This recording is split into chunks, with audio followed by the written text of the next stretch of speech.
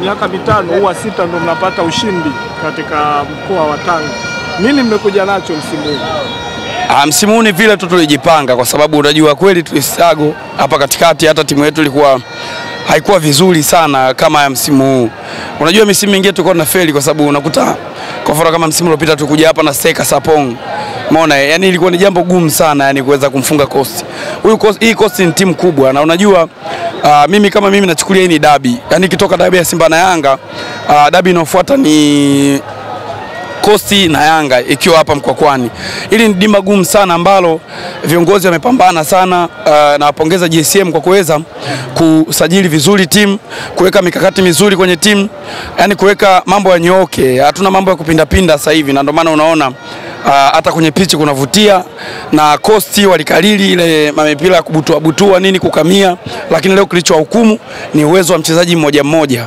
Umeona, yani leo uwezo wa mchezaji mmoja mmoja ndio kimahukumu kosti, kwa sababu kila wakikamia watu ni mafundi, wanafanya ufundi. Hatimaye tumeweza kuchukua pointi tatu na magoli mawili. Ilikuwa muhimu sana sana sana sana leo point kuliko hata magoli. Makame, uh, tumeona msimu umeimarika sana katika soya. Uh, Uh, na anakuwa top yupo kwenye.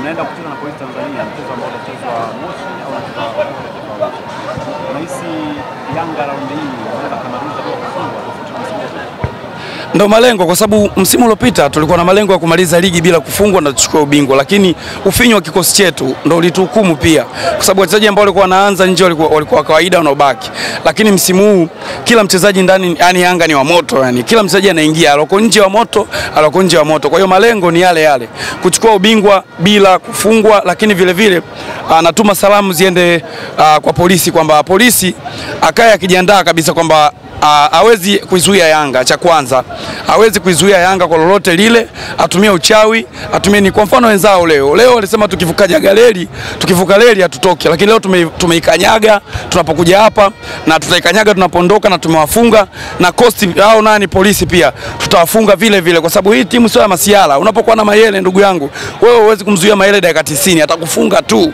E, tuna wachezaji wazuri sana, si, si msifi Mayele peke yake, wengi ni wazuri, na ndio maana sisi tunasema kwamba msimu huu tumejipanga vizuri na hakuna timu yoyote itakayoweza kuizuia uh, Yanga kuchukua ubingwa huu. Tunachukua ubingwa bila kufungwa, unbeaten ya sasa hivi. Tunakwenda tunaongoza kwa magoli, tunaongoza kwa pointi, tunaongoza kwa wachezaji wazuri na wengine wametua hapa. Mmemwona Chiko Ushindi, sasa yule pale ni Messi kabisa. Mimi nakwambia, na wengi hawajamwona, ila Chiko Ushindi ni Messi, ni Messi kabisa. Mimi labda cha kuambia mashabiki wengine Uh, wenzangu wa Yanga ambao bado hawajajiandikisha, zoezi la kujiandikisha liko, liko wazi na linaendelea. Kwa hiyo kwa, kwa nguvu ya timu yetu hii tuisapoti, tuiongezee nguvu. Ukijisajili ndo unaongezea nguvu timu. Si tuko vizuri, na ndio maana popote ilipo Yanga tupo yeah.